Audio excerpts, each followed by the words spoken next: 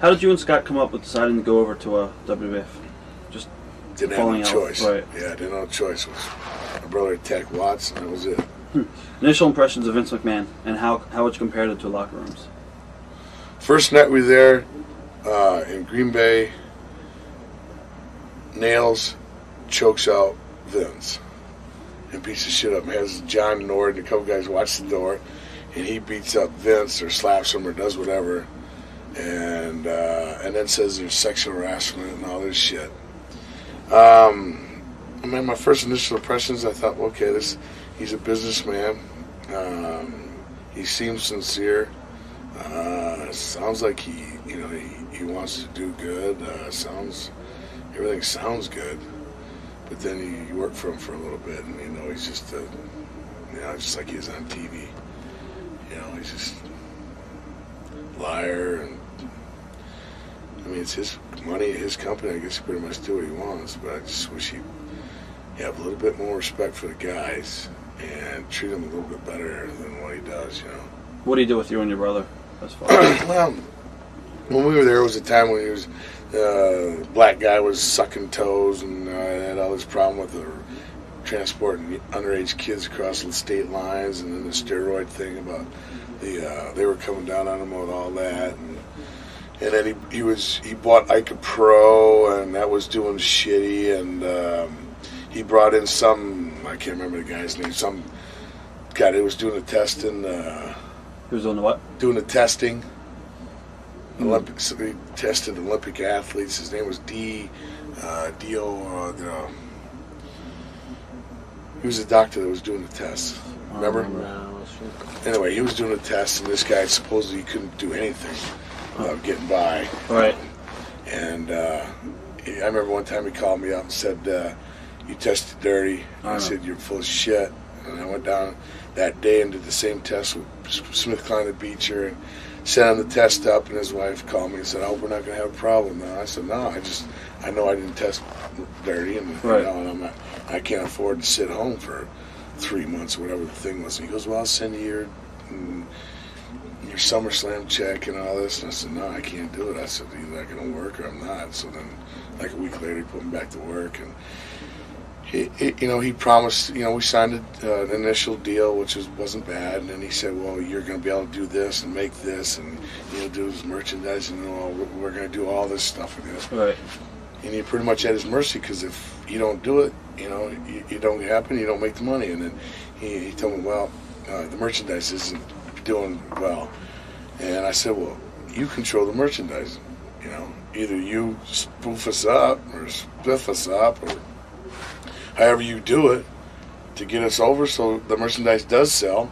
Or, I mean, it's all up to you. I mean, we don't have no control over it. If I control it, I'd be able to sell my merchandise. Right. So, I mean, it was always, uh, you know, always button heads until it came to that one point we were in some town in, in New York, and my brother, once again, cornered him again, screamed and hollered at him, and, and um, he let us out of our deal, and we were gone. Were you guys told to soften your style down when you first got up there? Um, uh, he didn't want us hurting anybody. Right. You know, that's what he told us. She said, I, you know, I, I respect you guys' style and everything, but uh, um, guys aren't going to want to work with you, and I need you to just, I just don't want you hurting anybody. So, Was it different seeing Ric Flair in the locker room as a small fish in a big pond this time in the WF? yeah, um, it, it- you know, you kind of just kind of laugh, you know, Right. about, you know, deep down you just kind of laugh. And I, my brother, you know, he, my brother loved it because my brother hates it, just just Right. despises the guy. So he he really ate it up. But yeah, you know, it's, there's there's I mean, there's a handful of guys that I have that you know, I just man, you just you know, you just you got a good word to say about him, you know. What was Hulk Hogan like at the time?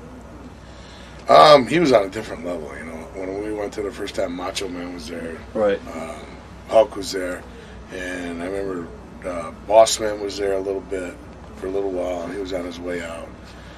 Um, so there's a few guys, and my brother got along with Macho and everything, so we talked to him a little bit about what was going on. And I remember one time we talked to to uh, Hogan about what was going on, and he kind of you know, he kind of gave us, you know, the, the scoop.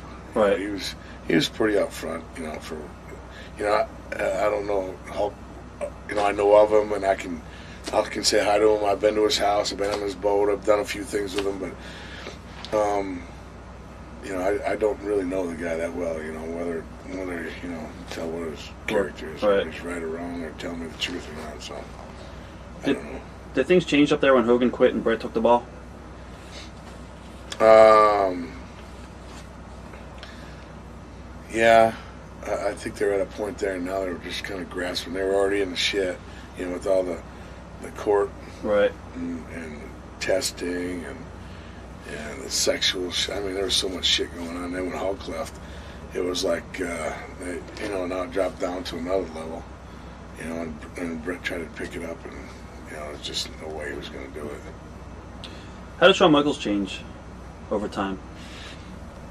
Um, I never, you know, I knew of Shawn at the beginning when he was with Marty, and I knew there Marty was big River, and I knew the girls and and all that. Um, and I know when we got up there, I know he got to be friends with uh, Kevin and uh, Scott Hall, and I know Mar- Mar- uh, Shawn was too well liked, you know, because I talked to Curt, you know, I, I was friends with Curt and with Boss Man, a lot of those guys. So they they really didn't have anything good to say about Shawn, and that's when he was getting Right. control, and, and so there was a lot of animosity there.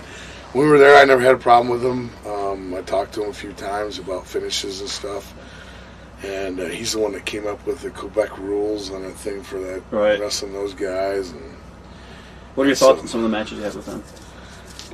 um, I I think uh, um, oh, the taller one. What's his name? Jacques? Jacques. Nah, I don't, I don't, I don't have anything good to say about him either. Uh, Pierre, Pierre wasn't bad. He tried. He's, you know, he, he he'd work with you. He'd take bumps and stuff. But just- Jacques's another one of those guys, just underhanded. But, Right. You know, he just did everything he could to get himself, uh, do whatever he had to. As, I don't have nothing good to say about him. Do you have any memories of your match with uh, Owen and Bret? Yeah, that was probably uh, that, that match. It was up. That was the same night we got let go. Or no, it was it was before that. It was before that. It was in that same town though. But uh, uh, I remember Bret saying, you know, um, we can have a hell of a match here and all this stuff, and we pretty much called it out in the ring, you know, for, for a few things. But yeah, Bret pretty much called it. Owen called it. My brother called it. We, you know, we all just called it in the ring. It was, it was one of the better ones, you know, rates up there with Lex and Sting's match we had and the other ones. I think it was like the '94 Royal Rumble. You and your brother were eliminated in one and two. Was that punishment? You think? Yeah, we were supposed to go out there. Well, he wanted us to go out there and fight each other. And if you remember right, we went out there and didn't do nothing. Right. All right. We just, I got out there, looked at him, and waited for the next guy to come in. All right. So then they sent word, you guys are out. So that was that was another part of the end, All right. you know. What actually led you guys leaving? Um, I think it was you know a combination of Vince promising us everything and not coming through with anything, uh, and not making the money that he said we were going to make, um, and uh, just the matches and having working with the Quebecers and you know just ICOPRO and just he was going through so much shit that during that.